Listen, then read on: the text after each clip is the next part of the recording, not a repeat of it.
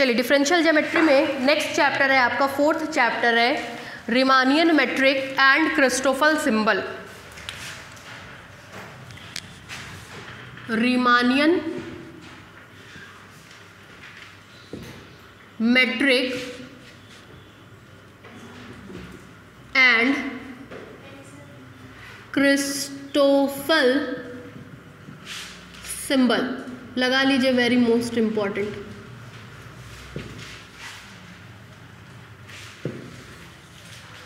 Riemannian metric and Christoffel symbol बहुत important chapter है tensor algebra Riemannian metric और इसके बाद वाला ये तीन चैप्टर स्कोरिंग एंड बहुत इंपॉर्टेंट है पहली हेडलाइन डाली है इसमें Riemannian metric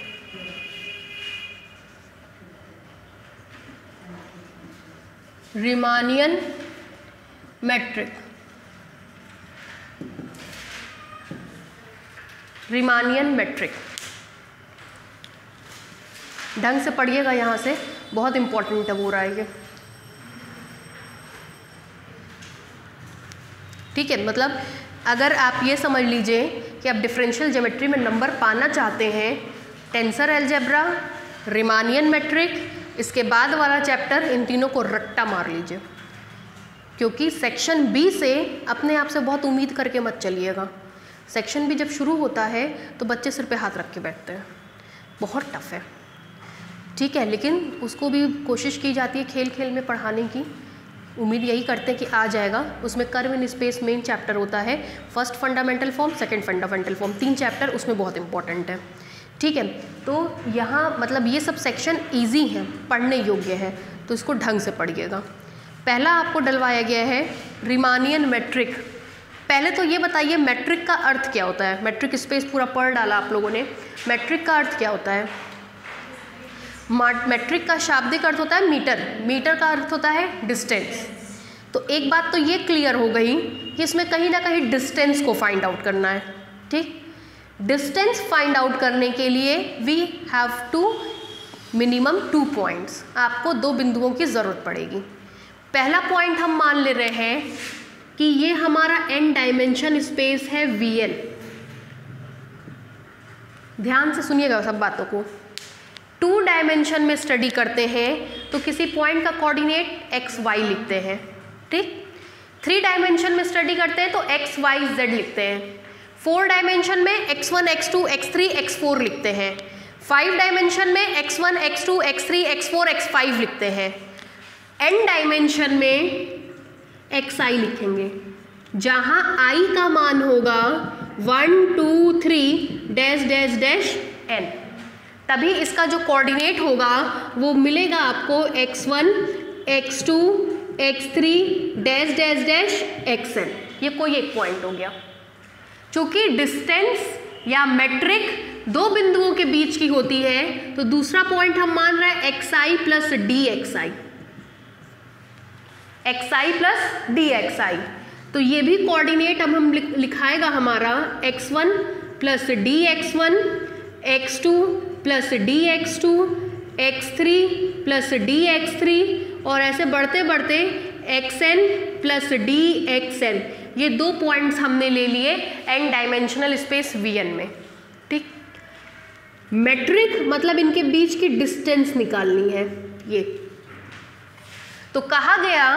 कि अगर इसके बीच की डिस्टेंस ds मान ली जाए तो D S square is equal to G I J D X I D X J होता है D S square is equal to G I J D X I D X J होता है जहां आई और जे का मान एन डायमेंशन होने के कारण वन से एन तक वेरी करता है ठीक है इसको बोलते हैं मैट्रिक चूंकि ये मैट्रिक इस तरीके से निकाली जाती है इसलिए इसको बोलते हैं रिमानियन मैट्रिक क्या कहते हैं रिमानियन मैट्रिक एक फिक्स सवाल है कहते हैं किसी भी क्लास में आपसे पूछा जाता है हमको लगता है हमने बीएससी थर्ड ईयर के वाइवा में भी बताया है एमएससी के वाइवा में भी बताया था हर साल हमको लगता है वो क्वेश्चन पूछा जाता है difference between Euclidean metric and Riemannian metric pet question है ये यूक्लूडियन मैट्रिक और रिमानियन मैट्रिक के बीच के डिफरेंस को समझाओ इक्लूडियन मैट्रिक होता है D S square is equal to Kronecker delta del I J D X I D X J और रिमानियन मैट्रिक होता है D S square is equal to G I J D X I D X J जहाँ Kronecker delta का मान आपको पता है one होता है ज़ीरो होता है वन तब होता है जब I is equal to J ये तब होता है जब I does not equal to J fix question है ये एकदम difference between Riemannian metric and Euclidean metric Riemannian metric is D S square G I J D X I D X J and Euclidean metric is D S square is equal to Kronecker delta I J D X I D X J जहां Kronecker delta का मान इस तरीके से लिखा जाता है ठीक अब हम सिद्ध करेंगे इसमें कि ये हमारा कोवेरिएंट सिमेट्रिक टेंसर होगा ऑफ सेकेंड ऑर्डर का अगर हमने ये बात सिद्ध कर दी तब आज के बाद से हम इसको फंडामेंटल मैट्रिक टेंसर कहेंगे ये हमने लगभग चैप्टर का सारांश आपको बता दिया ठीक है क्या क्या बताया सबसे पहले रिमानियन मेट्रिक मेट्रिक का शाब्दिक अर्थ होता है मीटर मीटर का शाब्दिक अर्थ होता है दूरी तो ये दिमाग में आ गया कि किसी एक स्पेशल टाइप की दूरी होगी जिसको हम रिमानियन मेट्रिक कहेंगे जैसे आप लोगों ने अभी मेट्रिक स्पेस में पढ़ा था यूजुअल मेट्रिक यूजुअल मैट्रिक एक मैट्रिक को खास तरीके से डिफाइन करते थे तब उसको यूजुअल मैट्रिक कहते थे फिर आपने पढ़ा था डिस्क्रीट मैट्रिक डिस्क्रीट मैट्रिक में भी एक खास तरीके से डिफाइन करते थे इसलिए उसको डिस्क्रीट मैट्रिक कहते थे फिर आपने पढ़ा था इक्लूडियन मैट्रिक इक्लूडियन मैट्रिक में भी एक खास तरीके से डिफाइन किया गया था तब आपने उसको इक्लूडियन मैट्रिक कहा था मतलब किसी भी मैट्रिक का अगर कोई नाम पड़ता है तो वो किसी ना किसी तरीके से डिफाइन की गई होती है और उसी मैथमेटिशियन के नाम पर उसको डिफाइन कर दिया जाता है अगर आप लोग भी मान लीजिए थोड़ा सा बड़े हो गए सीनियर क्लियर हो गए है ना कोई खोजबीन करने निकले और आप लोगों ने सोचा कि दो बिंदुओं के बीच की दूरी हम किसी स्पेशल तरीके से बता सकें तो मान लीजिए उसको कह सकते हैं अमृता मैट्रिक अंकिता मैट्रिक है ना कहा जाएगा ना तो आपके नाम पे कहा जाएगा तो ठीक इसी तरीके से क्या हुआ कि एन डायमेंशनल स्पेस में किन्हीं दो पॉइंट्स को लिया गया पहला पॉइंट लिया गया एक्स आई दूसरा पॉइंट लिया गया X I plus D X I ये कोऑर्डिनेट्स थे इसके बीच की दूरी को हमने माना ds है तो ds को रिमानियन ने इस तरीके से डिफाइन किया D S square is equal to G I J D X I D X J चूँकि रिमानियन ने डिफाइन किया इसलिए इसको रिमानियन मैट्रिक कहा गया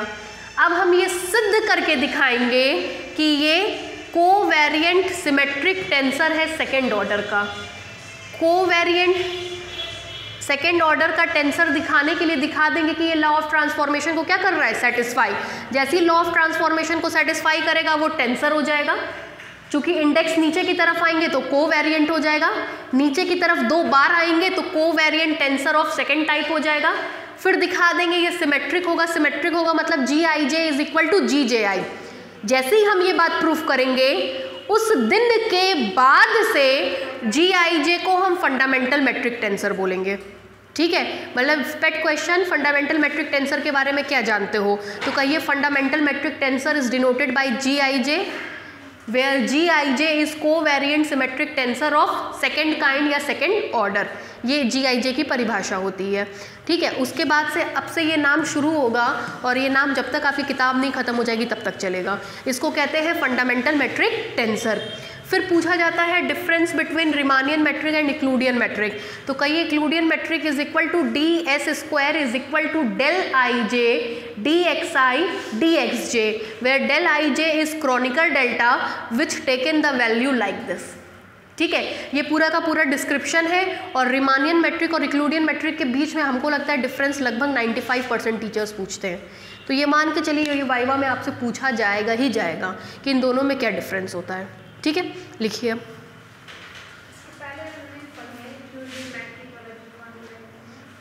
ये वाला पढ़ा होगा आपने नहीं मैट्रिक स्पेस में D X I D X J मैंने कभी नहीं यूज़ किया है इसी में ही पढ़ा है आप लोगों ने जो भी पढ़ा है इसके अलावा कहीं नहीं पढ़ा है आपने लिखिए रिमानियन मैट्रिक में लिखिए the distance the distance ds the distance ds ये लिखा है the distance ds between the points between the points comma whose coordinate whose coordinate in any system whose coordinate in any system are whose coordinate in any system are xi and xi plus dxi X I and X I plus D X I for every comma देके लिखिएगा for every comma दे करके for every I is equal to one two three dash dash dash N is given by is given by X में आई कहाँ होता है ऊपर की नीचे हमेशा और हमेशा ऊपर होता है इज गिवन बाई ये लिखिए D S square is equal to कुछ तीरा तीरी बना के मत लिखिएगा बस सीधे सीधे फॉर्मूला लिखिए D S square is equal to G I J D X I D X J for every I comma J is equal to one two three dash dash dash N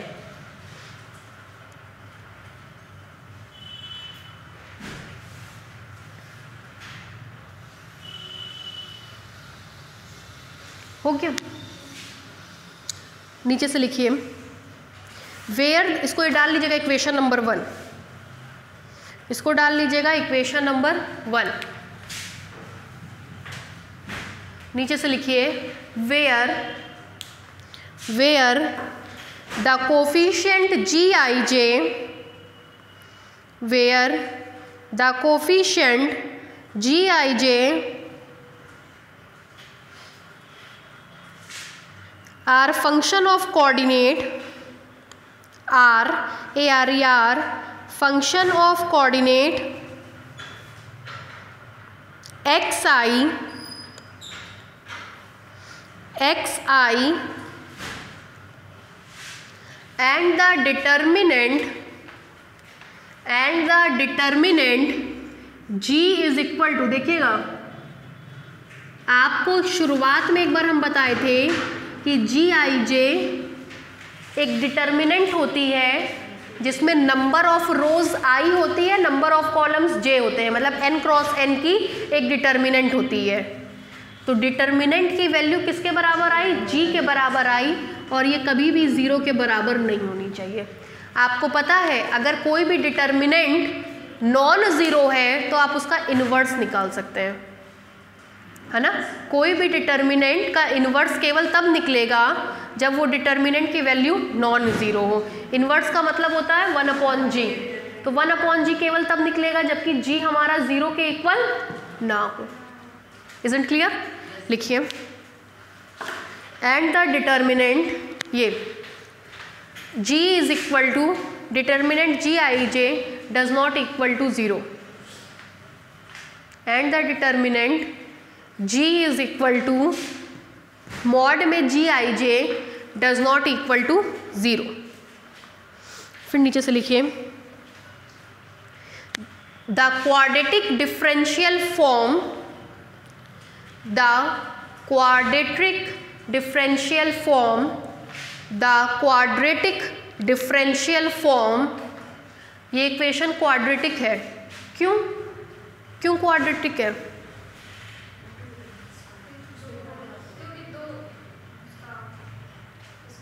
अच्छा quadratic क्या होता है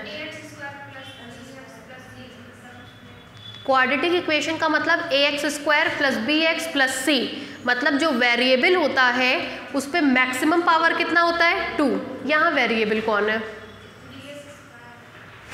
यहाँ variable है D x आई क्यों क्योंकि यही तो आप चेंज कर रहे हैं डी एक्स आई का मान अलग अलग लेते जाएंगे तो अलग अलग पॉइंट मिलता जाएगा तो वेरी कौन कर रहा है डी एक्स आई यहाँ डी एक्स आई कितनी बार आया है दो मतलब उसका पावर कितना हो गया टू मैक्सिमम पावर कितना हुआ टू इसलिए ये क्वाड्रेटिक इक्वेशन है बहुत से बच्चे इसको देखते हैं ये नहीं है वेरिएबल क्वाड्रेटिक होना चाहिए वेरिएबल कौन है D X I D X I कितनी बार आया है दो बार that is D X I का स्क्वायर तो जो स्क्वायर है जो टू है वो क्वाड्रेटिकनेस को रिप्रेजेंट करता है ठीक है लिखिए the quadratic differential form the quadratic differential form given in equation one given in equation one given in equation one is called the Riemannian metric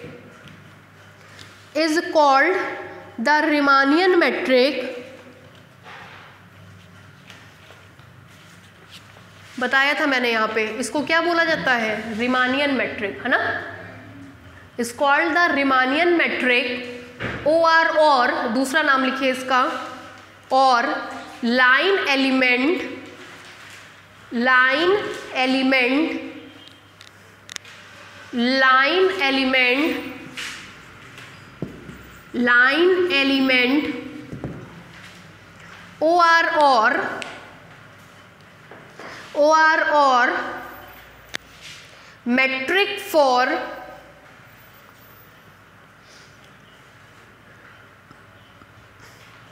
metric for N dimensional space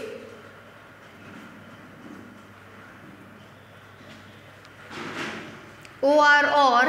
metric for N dimensional space metric for N dimensional space का मतलब N dimension में किस तरीके से matric मतलब distance को आप find out करेंगे इस चीज़ को आपने इवेल्युएट किया है that is called metric in in n dimensional space clear है and such a space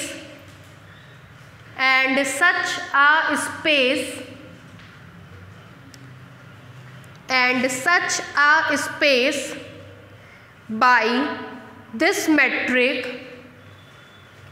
and such a space by this metric is called is called देखिए पहले अगर आपको याद आता होगा तो डी को आप बोलते थे यूजुअल मैट्रिक है ना आर कॉमा डी को बोलते थे यूजुअल मैट्रिक स्पेस है ना इसको हमने क्या बोला रिमानियन मैट्रिक तो इसके द्वारा जो स्पेस जनरेट होगा उसको क्या बोलेंगे रिमानियन स्पेस है ना और उसमें जो हमारी जेमेट्री होगी जेमेट्री का क्या मतलब होता है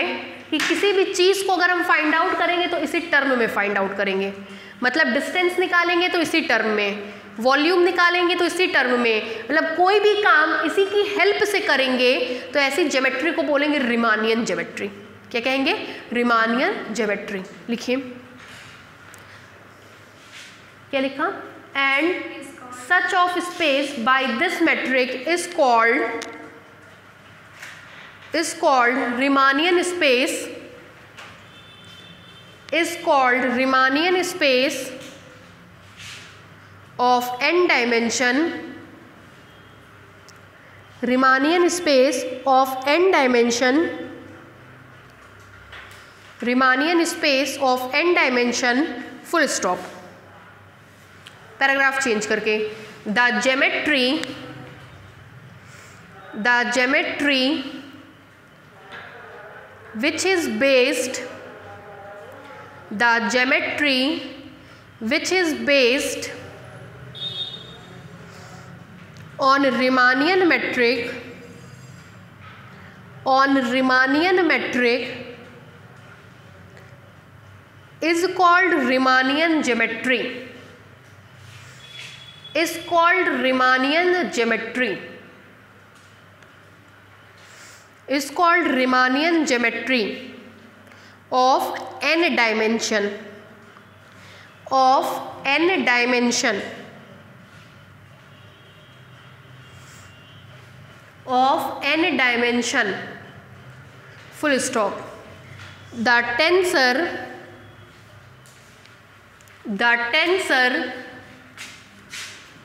gij the tensor gij is called fundamental metric tensor is called fundamental metric tensor इसको अंडरलाइन करिएगा is called fundamental metric tensor बहुत ज़्यादा पूछा जाता है ये is called fundamental metric tensor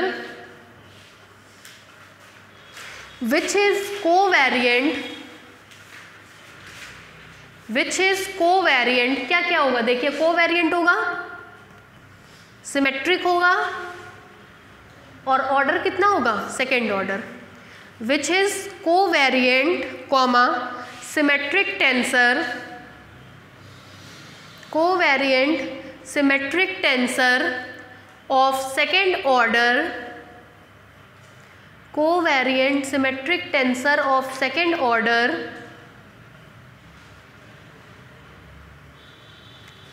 in Riemannian space in Riemannian space R capital है ना हर जगह आर कैपिटल होगा क्योंकि रिमानियन एक नाम है मैथमेटिशियन का in Riemannian space whose reciprocal whose reciprocal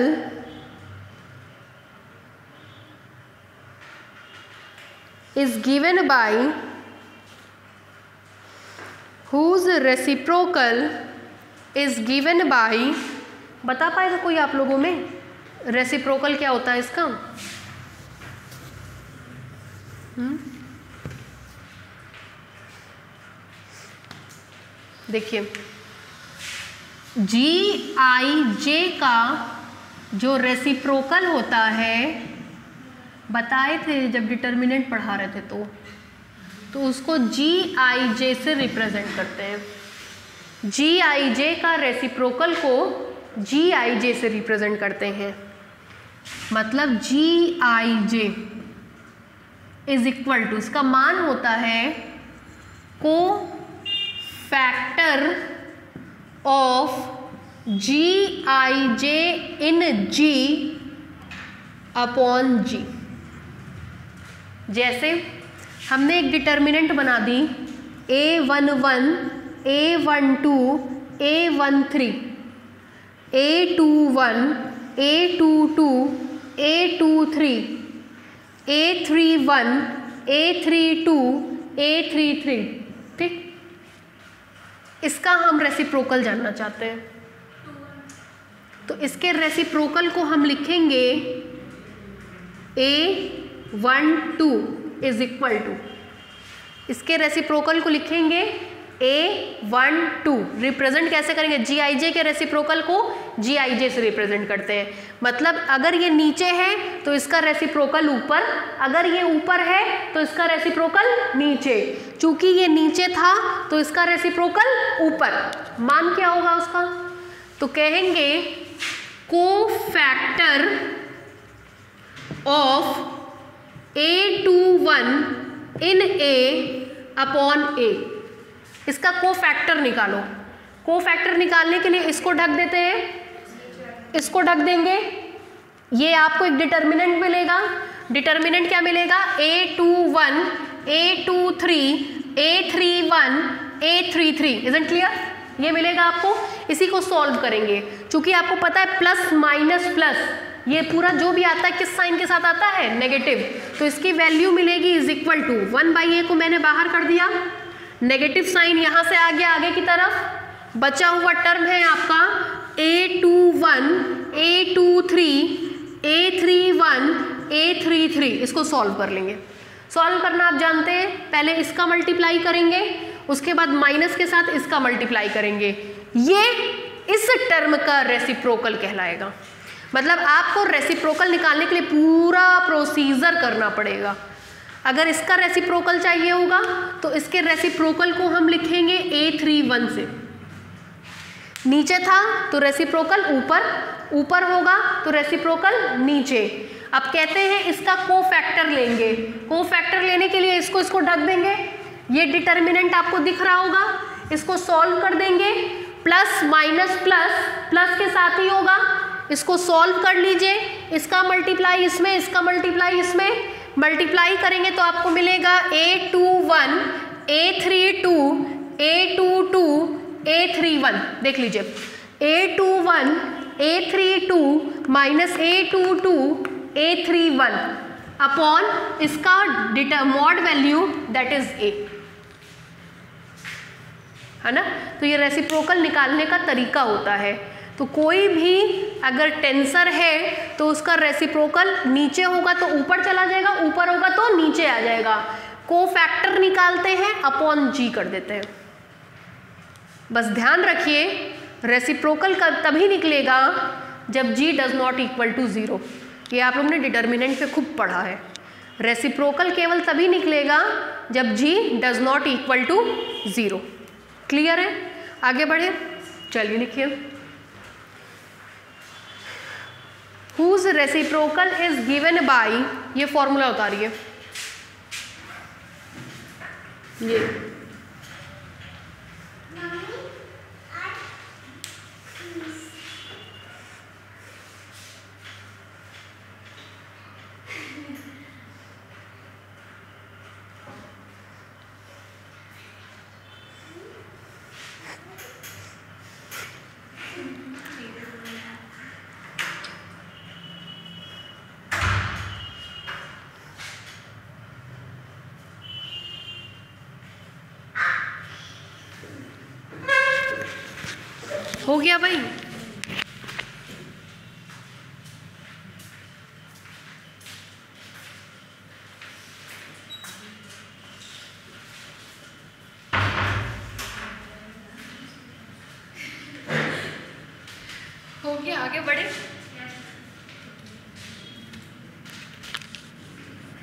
चलिए नेक्स्ट अब लिखिए अभी हम आपसे जिक्र कर रहे थे थोड़ी देर पहले कि इसको हमको क्या क्या दिखाना है variant symmetric tensor of second kind या सेकेंड ऑर्डर जैसे आप इतनी सारी बातें दिखा देंगे इसको हम फंडामेंटल मेट्रिक टेंसर कहने लगेंगे है ना तो अब हम लोग बारी बारी से ये सारी चीज़ें दिखाएंगे ठीक है लिखिए नीचे से लिखिए since the differentials since the differentials differentials किसको कहते हैं भाई सोचिए बताइए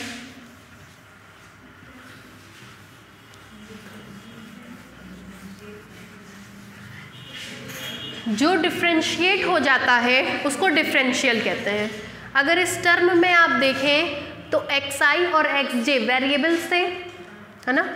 आपने उसके आगे डी लगा दिया दैट मीन्स वो डिफ्रेंशिएट किए जा सकते हैं तो इक्वेशन नंबर वन में डिफरेंशियल्स कौन कौन होगा डी एक्स आई और डी एक्स जे होंगे क्लियर है लिखिए since the differentials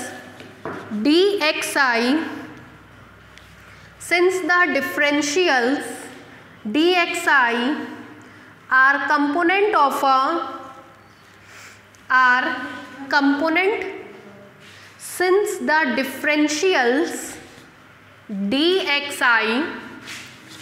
since the differentials dxi are component of are component of contravariant vector are component of contravariant vector and the quantities and the quantities चलिए देखिए इसको आपने कहा कि ये कंट्रा वेरिएंट वेक्टर है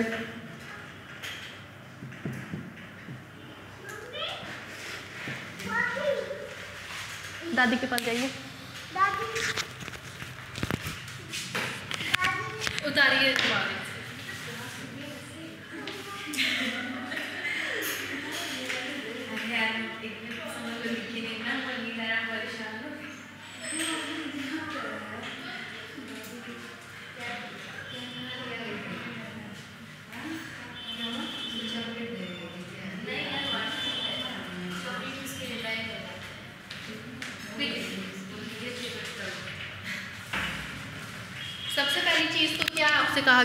ये कंट्रा वेरियंट वैक्टर है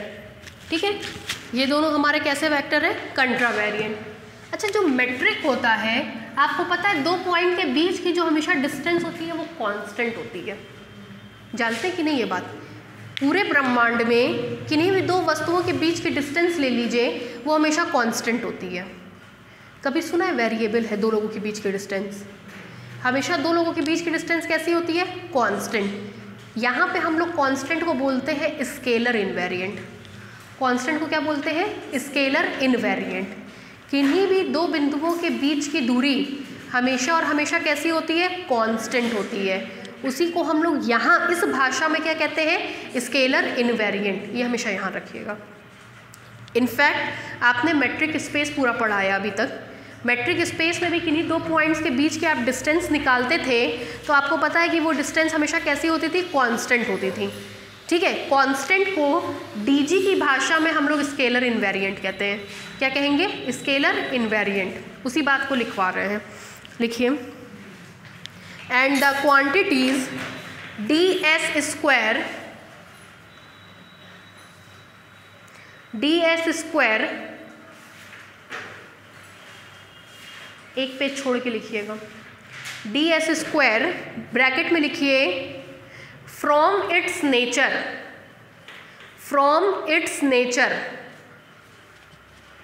from its nature bracket बंद is scalar invariant is a scalar invariant is a scalar invariant क्या कहा गया कि दूरी का तो नेचर ही यही होता है कि वो हमेशा कांस्टेंट होती है और डीजी की भाषा में हम लोग उसको क्या बोलते हैं स्केलर इनवेरिएंट हमेशा और हमेशा ये कैसा होगा scalar invariant is a scalar invariant therefore therefore अब जरा ब्लैक बोर्ड पर देखिए ताकि समझ में आए ये स्केलर इनवेरियंट है स्केलर इन्वेरियंट होने का मतलब d s square is equal to d s bar का स्क्वायर क्यों स्केलर इन्वेरियंट के लिए हम आपको तीन चार बातें बताए थे पहली बात बताए थे कि अगर वो स्केलर इन्वेरियंट है तो बार वाला टर्म बिना बार वाले टर्म के बराबर होगा ठीक दूसरी बात हम आपको बताए थे कि इसमें del x by del x के टर्म नहीं आएंगे तीसरी बात हम आपको बताए थे ये इंडेक्स फ्री होगा इस पर कोई भी इंडेक्स नहीं होगा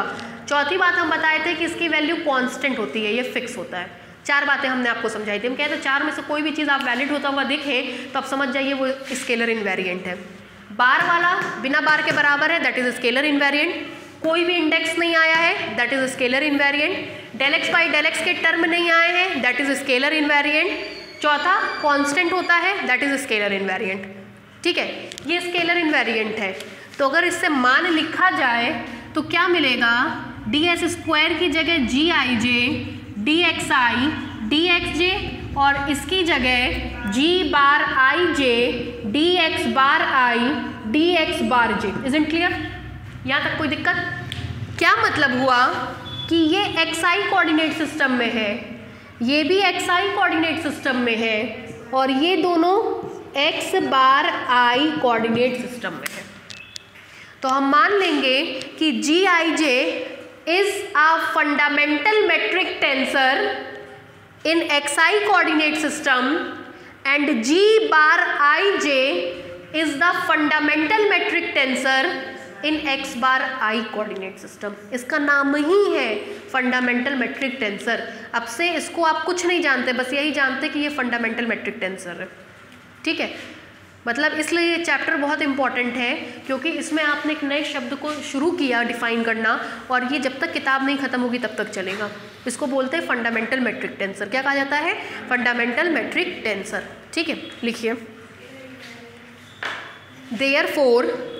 if g bar i j therefore if g bar i j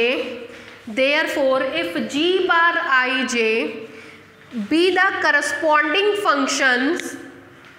be the corresponding functions be the corresponding functions in the variable x bar i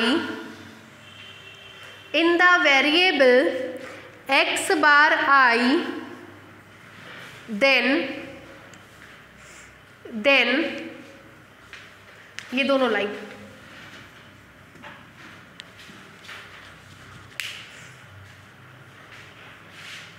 ये जो हम आपको ये पूरी थियोरी लिखवाएं हैं ना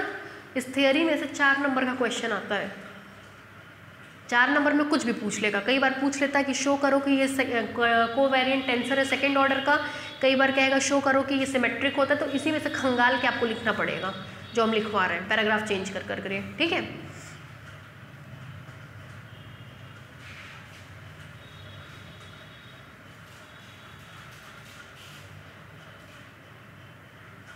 हो जाए तो बताइएगा हो गया आपका हो गया देखिए दिस इंप्लाइज दैट इसको मैं पहले लिख रही हूँ ठीक है g bar i j d x bar i d x bar j is equal to dummy index है किसी अदर इंडेक्स से चेंज कर सकते हैं बशर्ते उस टर्म में ना आया हुआ हो ए बी से हम चेंज कर रहे हैं ए बी से चेंज करेंगे तो मिलेगा g a b d x a d x b clear this implies that g bar i j d x bar i d x bar j is equal to अभी just आपने ये तीर बना के लिखा कि ये दोनों कंट्रा वेरियंट वैक्टर है If these are contravariant vector, then they must be satisfy law of transformation. लिखवाइए इसके लिए law of transformation d x a के लिए लॉ ऑफ ट्रांसफॉर्मेशन लिखेंगे तो यहाँ पे भी आएगा डी एक्स बार नहीं है तो यहाँ पे क्या आएगा बार एक इंडेक्स है तो एक बार हम del x by del x लिखेंगे पहले इसको बैलेंस करेंगे ऊपर की तरफ ए नीचे की तरफ बार के साथ आई ठीक इसके लिए लिखेंगे and d x b is equal to d x bar नहीं है तो यहाँ पे बार जे एक इंडेक्स आया है तो del x by del x इसको बैलेंस करेंगे बी इसको बैलेंस करेंगे जे क्लियर वैल्यू को पुट करेंगे तो आएगा g a b d x a का मान लिख रहे हैं d x bar i del x a del x bar i दूसरा d x bar j del x b upon del x bar j कोई दिक्कत यहाँ तक में थोड़ा सा एडजस्ट करा दीजिए एडजस्टमेंट करेंगे तो आपको मिलेगा this implies that g bar i j d x bar i d x bar j is equal to यहाँ पे आपके पास आएगा जी ए बी पहले हम नॉन बार वाले टर्म्स को लिख रहे हैं नॉन बार ठीक है del x a upon del x bar i del x b upon del x bar j साथ में आएगा d x bar i d x bar j is in clear सब टर्म्स को इधर ले आइए जो कॉमन दिख रहा है उसको बाहर कर दीजिए मिलेगा this implies that g bar i j minus g a b del x से upon del x bar i del x b upon del x bar j common terms are d x bar i d x bar j is equal to zero अभी just आपने कहा these are arbitrary contravariant vector since d x bar i and d x bar j are an arbitrary vectors ये दोनों arbitrary vectors हैं तो इसका मतलब होगा कि ये दोनों कभी भी ज़ीरो के बराबर नहीं होंगे ज़ीरो के बराबर नहीं होंगे तो मिलेगा this implies that g bar i j minus g a b del x a upon del x bar i del x b upon del x bar j is equal to zero and the reason behind this कि ये कभी भी zero के बराबर नहीं होगा this that g bar i j is equal to g a b del x a upon del x bar i del x b upon del x bar j अगर आप देखें तो मेरे हिसाब से दोनों तरफ इंडेक्स बराबर है मतलब लॉ ऑफ ट्रांसफॉर्मेशन क्या हो रहा है सेटिस्फाई इधर की तरफ बार है तो बार को काउंट करेंगे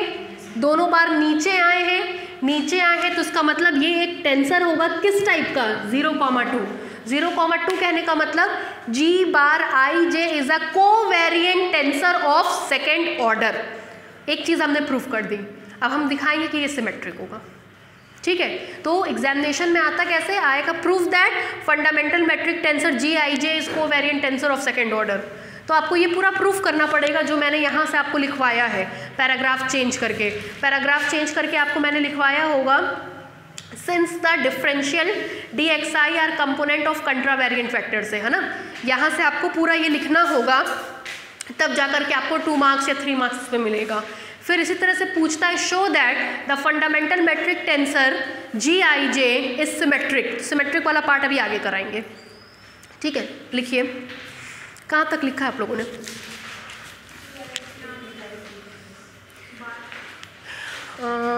यहाँ तक लिखिए लिया ना नीचे से लिखिए since since i and j in L H S are dummy index since i and j in L H S ये देखिए आई और जे एल एच एस में डमी है तो उसको हमने किसी अदर इंडेक्स से चेंज कर दिया है ना Since i and j are dummy index in LHS, therefore, therefore ये लाइन उतारी है ये वाली लाइन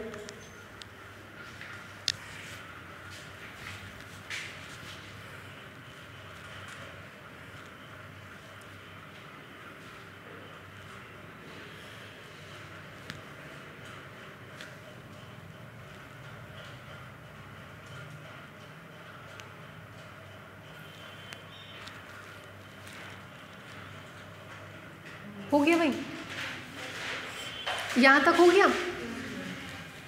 नीचे से लिखिए since D X A and D X B since D X A and D X B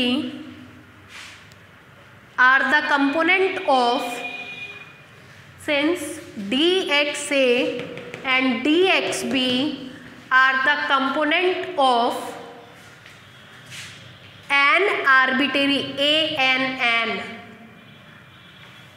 arbitrary, since DXA and DXB are the component of an arbitrary contravariant vector,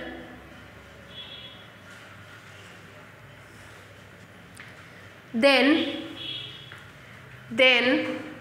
they must be satisfy law of transformation then they must be satisfy law of transformation then they must be satisfy law of transformation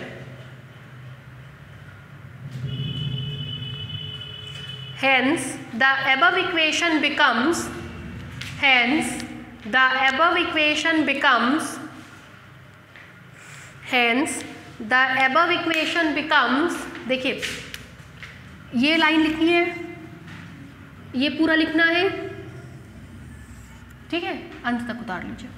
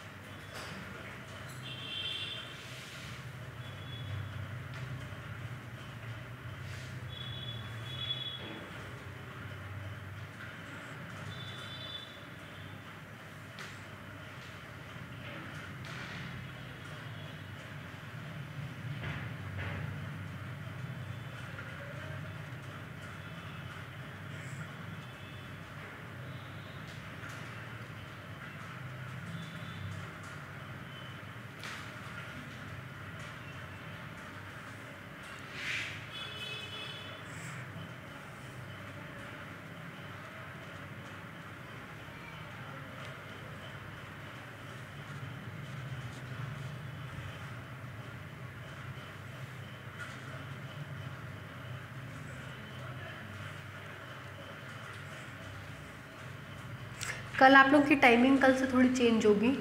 है ना क्योंकि आ, um, sir को भी college जाना रहता है हमको भी अब कॉलेज जाना रहेगा तो कल से उनको वही हो रहा था कि भाई कब तक जो है नागा किया जाएगा हम क्योंकि थोड़ा सा चेंज कर देंगे एक दो घंटा कुछ आगे बढ़ा देंगे ठीक है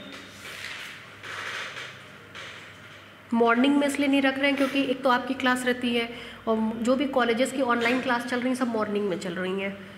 तो आप लोगों का तो क्लैश करेगा ही करेगा इसके अलावा जो ऑनलाइन के बच्चे हैं उनका भी क्लैश कर रहा है ठीक है तो वो बेहतर यही समझा गया कि जो ग्यारह बजे से चल रही उसको एक बजे से कर लिया जाए तब तक हम लोग सुबह दस बजे से लेकर एक बजे तक अपना कॉलेज निपटा भी चले जाएंगे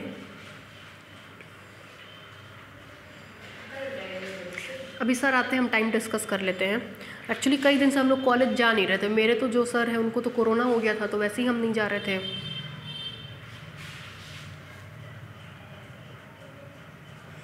जिनके अंडर में हम रिसर्च कर रहे हैं उनको कोरोना हो गया था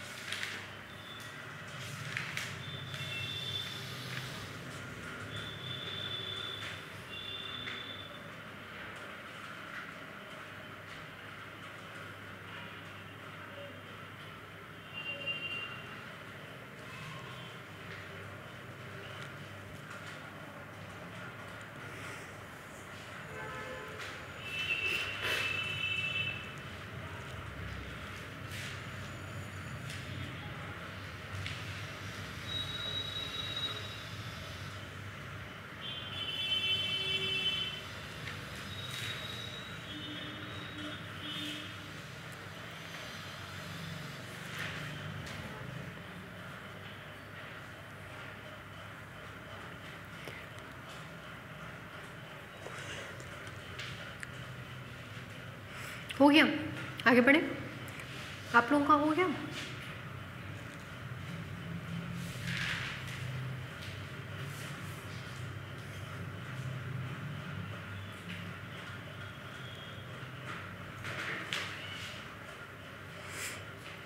नीचे से लिखिए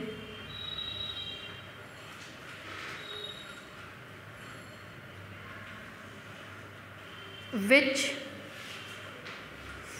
इसके नीचे से लिखिए which shows that which shows that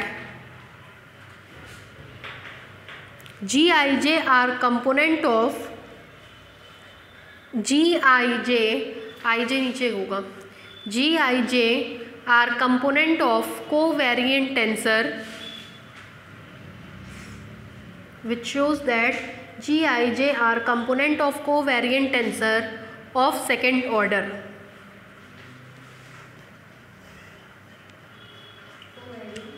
tensor of second order which shows that G I J R component of covariant tensor of second order clear है अब हम लोग दिखाएंगे कि ये सिमेट्रिक है ठीक है सिमेट्रिक कैसे दिखाएंगे अब वो देखिए अगर आपको ध्यान आ रहा हो तो हमने पिछले चैप्टर में एक थ्योरम कराया था कहा गया था कि किसी भी variant tensor of second order या contravariant tensor of second order को दो टेंसर्स के सम के फॉर्म में लिख सकते हैं जिसमें एक सिमेट्रिक होता है एक स्क्यू सिमेट्रिक कुछ याद आया तो यहाँ पे अगर G I J component of covariant tensor है तो हम इसको भी सम ऑफ टू टेंसर्स के फॉर्म में लिख सकेंगे एक सिमेट्रिक होगा दूसरा स्क्यू सिमेट्रिक जरा देखिए हाफ जी आई जे प्लस जी आई जे लिख सकते हैं हाफ जी आई जे जी आई जे मिल करके one by two two into G I J two से टू कट जाएगा वापस से जी आई जे ठीक क्या हुआ ठीक है this implies that G I J is equal to half G I J plus G J I minus G J I plus G I J cut जाएगा वापस सही ऊपर वाला मिल जाएगा this implies that G I J half G I J plus G J I plus half G I J minus G J I जिसमें से एक सिमेट्रिक होगा दूसरा स्क्यू सिमेट्रिक होगा इतने में कोई डाउट लिखिए लाइन चेंज करके लिखिए since since G I J are the component of since G I J are the component of covariant tensor of second order since Gij are the component of covariant tensor of second order hence it can be written as hence it can be written as उतारिए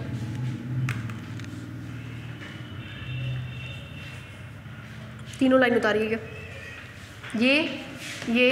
ये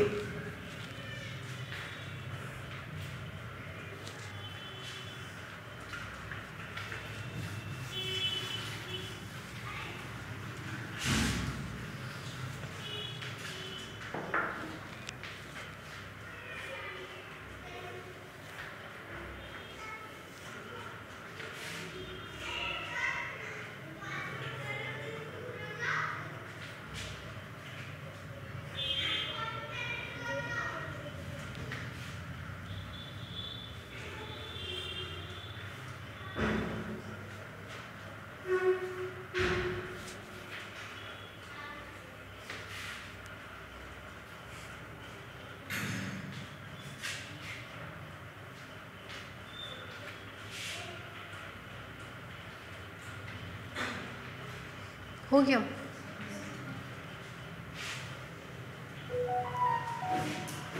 नीचे से लिखिए this implies that ji I J is equal to capital A छोड़ दीजिए चलिए लिख लीजिए this implies that ji I J is equal to capital A plus capital B where capital A बराबर half ji I J plus ji J I and B बराबर half ji I J minus ji J i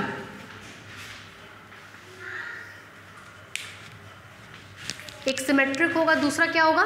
skew symmetric आपको पता है plus वाला symmetric होता है और minus वाला skew symmetric is a component of इसी के नीचे से is a component of is a component of symmetric and skew symmetric is a component of symmetric and skew symmetric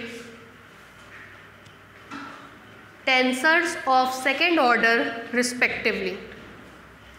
tensors of second order respectively tensors of second order respectively ठीक है जरा इसको डालिएगा equation number next equation number बोलिए two इसको डालिएगा three इसको डालिएगा फोर इसको डालिएगा five two three four five इसको डाल लीजिए इक्वेशन नंबर हाँ हाँ दीदी लोग हंस रही हैं टू थ्री फोर फाइव ठीक है अब देखिए इक्वेशन नंबर फाइव को लेकर के चलते हैं अगर इक्वेशन नंबर फाइव में D X I D X J का मल्टीप्लाई करें तो देखते हैं क्या मिलता है इक्वेशन नंबर फाइव की हम बात कर रहे हैं ठीक है नीचे से लिखिए now now from equation five now from equation five we get now from equation five we get देखिए b d x i d x j ji I J minus ji J I D x I D x J कोई दिक्कत हमने B में दोनों तरफ D x I D x J का multiply कर दिया ठीक है is equal to one by two ji I J D x I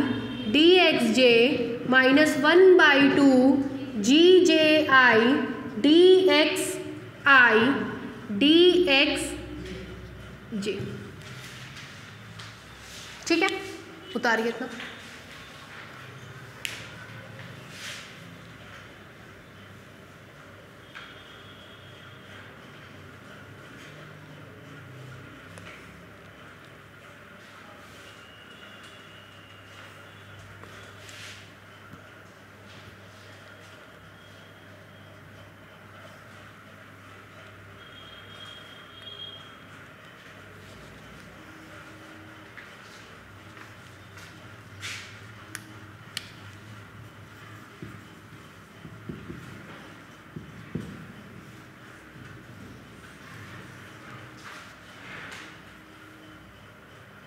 ठीक है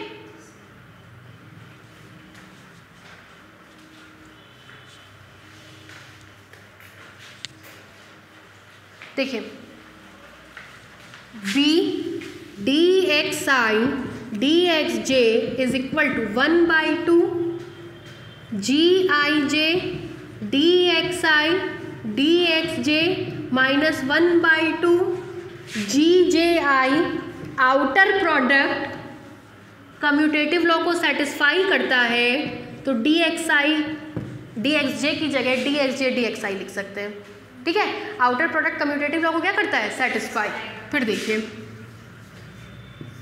B D X I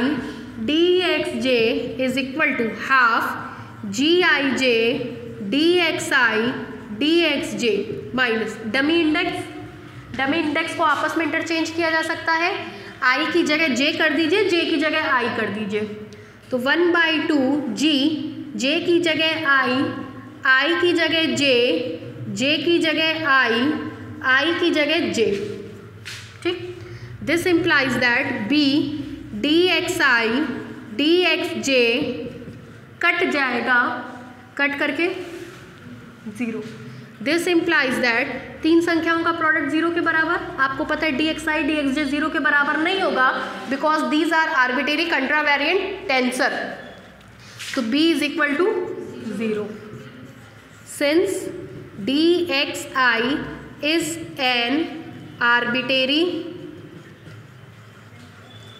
contravariant vector ठीक है तो ये इस बात को बताता है कि इसमें बी का कोई रोल नहीं है बी का कोई रोल नहीं है मतलब बी क्या कर गया वैनिश कर गया बी वैनिश कर गया तो केवल कौन बचा ए ए हमारा सिमेट्रिक है मैंने अभी लिखवाया है कि ए कैसा है सिमेट्रिक बी कैसा है स्क्यू सिमेट्रिक अगर ए सिमेट्रिक है तो जी आई जे भी क्या हो जाएगा सिमेट्रिक हो जाएगा अगर ए सिमेट्रिक है तो जी आई जे भी क्या हो जाएगा सिमेट्रिक हो जाएगा ठीक है उतारिए वहां तक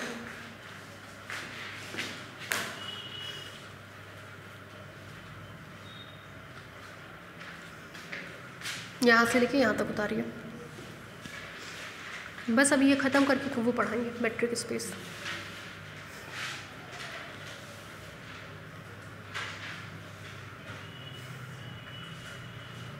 आज कहाँ रह गए थे भाई एडमिशन हो गया अभी पैसा नहीं जमा क्यों तो से नहीं सब अच्छा कल खैर अगर ऐसी बात रहा कर तो बता दिया करिए क्लास थोड़ा पोस्ट बढ़ा देंगे कल से क्लास भी चलेगा बताएं तो ऐसा कीजिए तो कर दीजिए तो सुबह कल से नहीं सुबह तो उनका रहता है शाम को कितना ठीक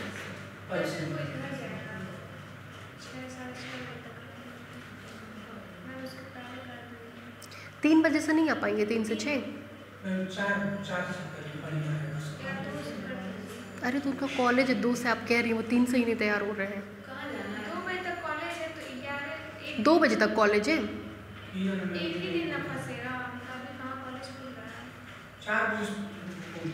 अच्छा रुकिए एक मिनट अभी क्लास हो रहा है तब बात करते हैं हो गया यहाँ तक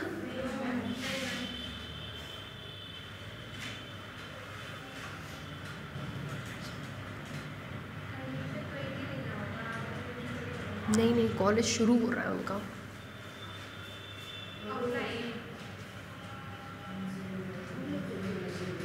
सभी का शुरू होगा अभी नहीं शुरू होगा दिवाली के बाद दस दिन से शुरू होगा वो चीज़ तो होनी ही होनी है कॉलेज तो शुरू होना ही होना है दिवाली के बाद से शुरू होगा जैसे यूनिवर्सिटी का नोटिस दिवाली के बाद का है तो दिवाली में कितना दिन ही है सात दिन बचा है फिर तो ओपन होना ही होना है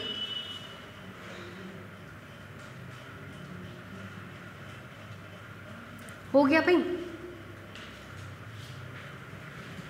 B is equal to zero तक हो गया यहाँ तक क्लिक करके बताइए हमको हम्म।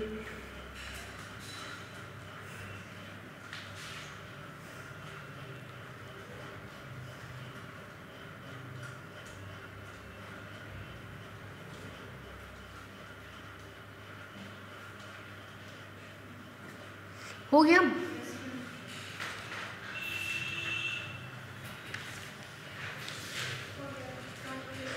आप लोग कहोगे नीचे से लिखिए hence there is no contribution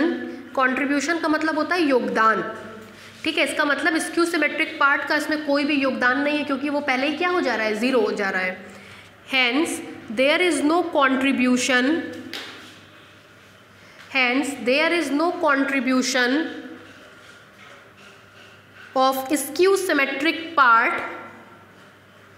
of skew symmetric part of skew symmetric part bracket में लिखिए that is capital B that is capital B bracket बंद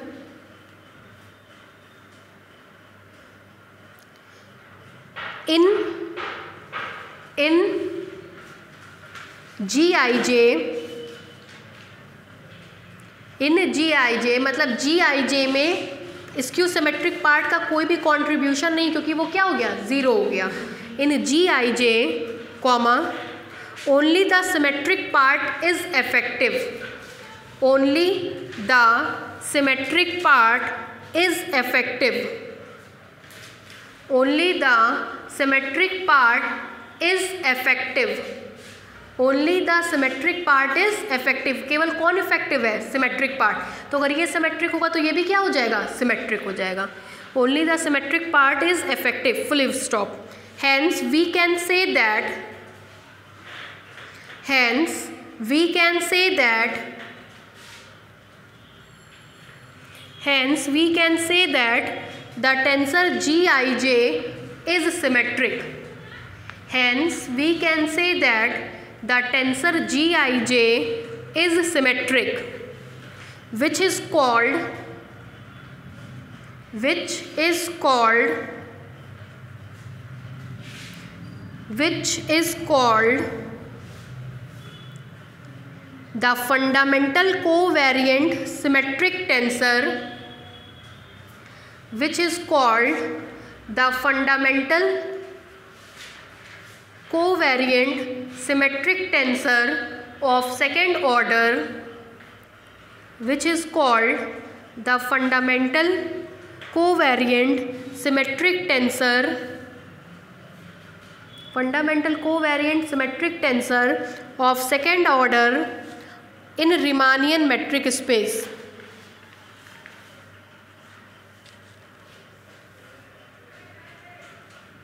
In Riemannian metric space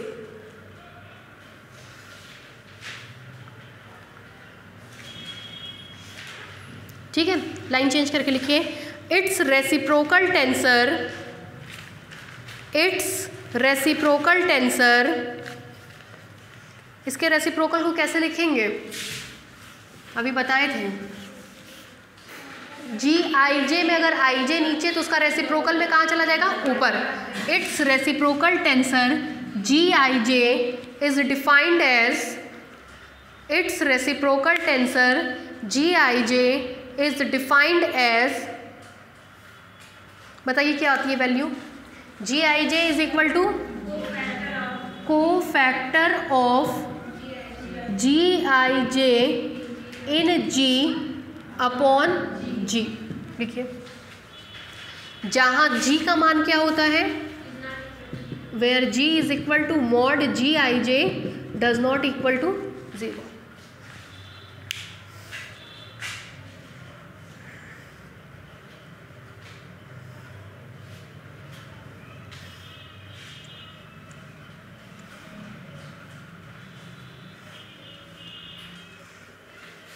हो क्या और आज के बाद से इसको कहेंगे रेसिप्रोकल फंडामेंटल मैट्रिक टेंसर ठीक है नीचे से लिखिए is called the reciprocal fundamental metric tensor is called the reciprocal fundamental metric tensor is called the reciprocal fundamental metric tensor